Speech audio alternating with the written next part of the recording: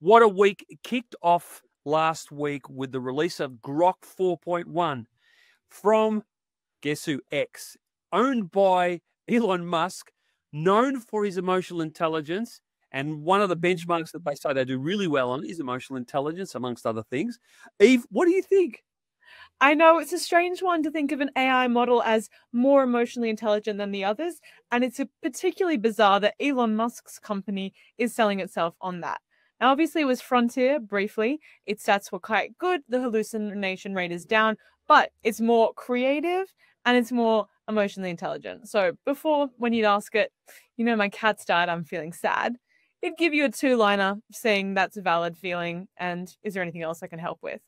Now it's giving a more extended response. It's saying, and showing an awareness of the collective human experience, how it's like losing a small family member and that it can take a long time to mourn. It's just a little bit more in depth. But honestly, it is hard to tell how an AI model is responding, and emotional intelligence is in the eye of the beholder. It genuinely is.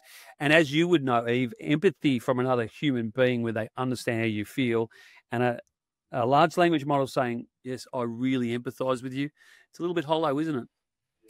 It can be. Look, I will say I do agree that it's looking more in depth than the last models.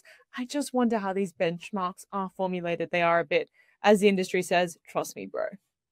yeah, exactly. Need help with AI solutions? Click on the channel link and follow the link tree.